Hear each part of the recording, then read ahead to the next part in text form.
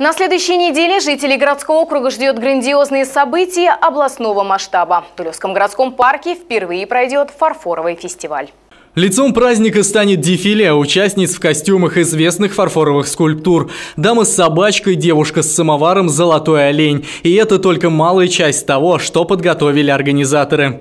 Кроме нашего дулевского фарфора мы ждем гостей из Гжели, мы, мы ждем гостей из Вербилок, мы ждем очень много ремесленников, которые связаны с фарфором, с а, керамикой вообще.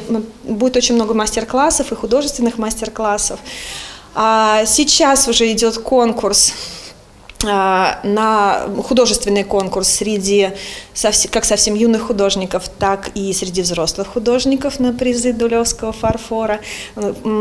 Конкурс называется «Дулевская агашка».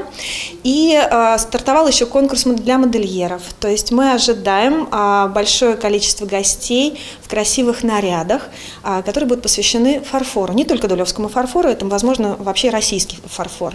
У нас будет шествие фарфоровой королевы, с него и начнется наш большой праздник. Это первый фестиваль, посвященный фарфору не только в нашем округе, но и в России. Данная идея уже получила высокую награду. В прошлом году, в 2017 году, с идеей проведения этого фестиваля мы участвовали в национальной премии в области событийного туризма Russian Event Awards.